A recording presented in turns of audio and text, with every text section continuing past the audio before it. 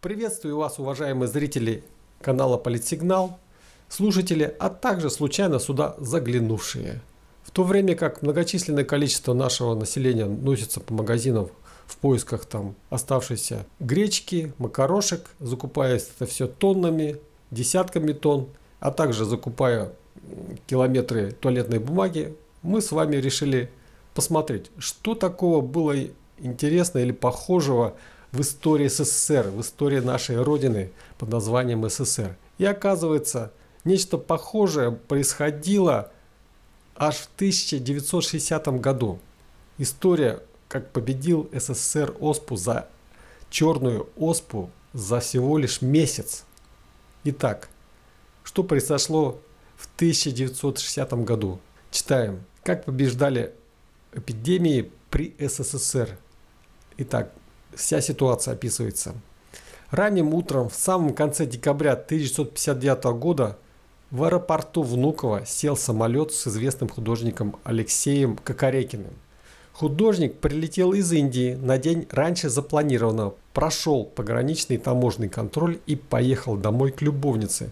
Он немного покашливал, но кого удивишь кашлем в декабрьской Москве? Одарив подарками из теплых экзотических стран – свою пассию, на следующий день он наконец-то добрался до семьи, обнял родных, отпраздновал приезд и также раздал подарки. Кашель усилился, температура поднималась, и он наконец-то отправился к врачам. Госпитализировали его почти сразу. Хуже ему становилось буквально на глазах. А к вечеру он умер. Производивший вскрытие патологоанатом пригласил в секционный зал – заведующего кафедрой академика Краевского. По счастливой случайности к Николаю Александровичу приехал в гости старичок, патологоанатом из Ленинграда.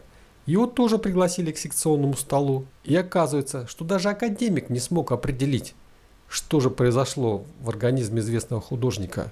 А старичок посмотрел на труп и сказал, да это, батенька, вариола вера, черная оспа.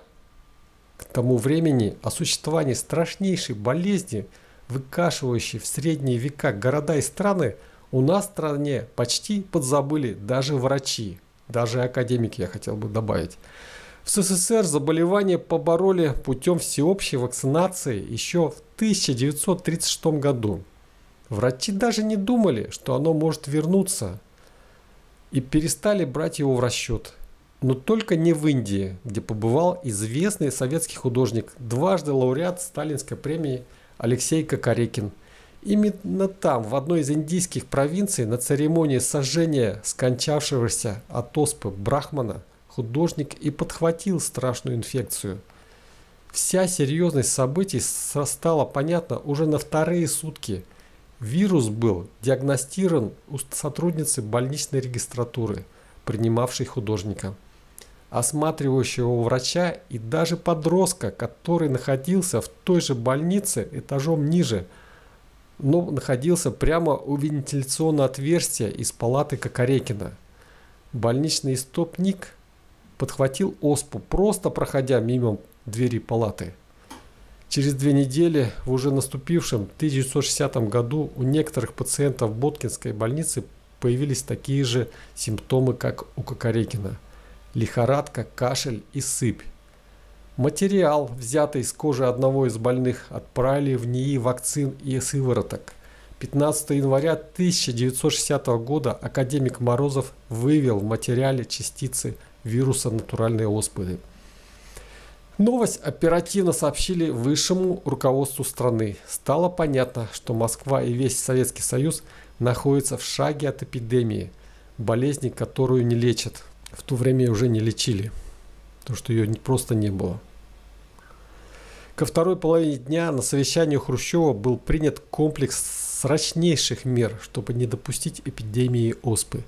Перед личным составом столичной милиции КГБ поставили задачу в кратчайшие сроки выявить всех, с кем контактировал художник, начиная с момента его посадки на самолет в Индию – в группу риска попали пассажиры самолета, его экипаж, таможенники, коллеги, друзья, родственники. Следствие даже установило, что перед тем, как вернуться домой, Кокорекин сутки провел с любовницей. Масштаб работы был огромен. Выяснили, что в течение нескольких недель больной контактировал с несколькими тысячами людей. Выявить всех было просто практически нереально. Но тем не менее, КГБ СССР, МВД, Министерство здравоохранения устанавливали и изолировали абсолютно всех, кто хоть как-то пересекался с инфицированным. Одна из проведших с больным вечер была преподавателем в институте, где принимала экзамены у многочисленных студентов. Из вузов в карантин отправили сразу сотни человек. Подарки, привезенные из Индии для жены и любовницы через комиссионки на Шаболовке и Ленинском расползлись по городу. Но уже через сутки все посетители магазинов были установлены, помещены в карантин, а сами предметы из индийских тканей сожжены. Центральная Боткинская больница тут же оказывается в осадном положении. Тысячи больных и обслуживающего персонала не могут покинуть ее стены. Из мобилизационных хранилищ Госрезерва в сторону Москвы выезжают грузовики со всем необходимым. Над Европой успели развернуть самолет, которым из Москвы в Париж отправился один из пассажиров Кокорекинского рейса. Москва, только-только справившая Новый год, была фактически полностью закрыта по законам военного времени – в нее нельзя было ни въехать, ни выехать из нее. Отменены все авиарейсы, прервано все железнодорожные сообщения, перекрыты все автомобильные дороги. Круглыми сутками медицинские бригады ездили по адресам, госпитализируя все новых и новых вероятных носителей инфекции. В инфекционных больницах становилось, ставились все новые и новые койки для карантинников – и через неделю под присмотром врачей уже находилось около 10 тысяч человек. Ниточка, которым начиналась всего лишь навсего с одного пассажира авиарейса Дели-Москва. Одновременно была развернута вторая фаза операции борьбы с возможной эпидемией – срочнейшая вакцинация населения. В течение трех дней Московскую городскую санитарно-эпидемиологическую станцию было доставлено самолетами 10 миллионов доз противооспенной вакцины из Томского и Ташкентского институтов вакцин и сывороток и Краснодарской краевой санитарно-эпидемиологической станции, а медицинские работники абсолютно всех предприятий и учреждений города кололи его москвичам и гостям столицы. В итоге что получилось? Всего во время данной вспышки в Москве от Кокорекина заразилось 19 человек, 7 родственников, 9 человек персонала и 3 пациента больницы, в которую он был госпитализирован с нераспознанной оспой. От них заразилось еще 23 человека, и от последних еще трое. Трое из 46 заразившихся скончались. И вот в 1960 году все 7 миллионов жителей Москвы были вакцинированы. Привили в том числе и умирающих. Каждую неделю укол делали полутора миллионам человек, а проводили вакцинацию 10 тысяч прививочных бригад, в которые помимо врачей и фельдшеров входили студенты медицинских вузов. Через месяц вспышку оспы удалось погасить. Вот такая история была в нашей жизни в далеком 1960 году, как СССР справилась всего, всего лишь за месяц. За месяц, это очень быстро.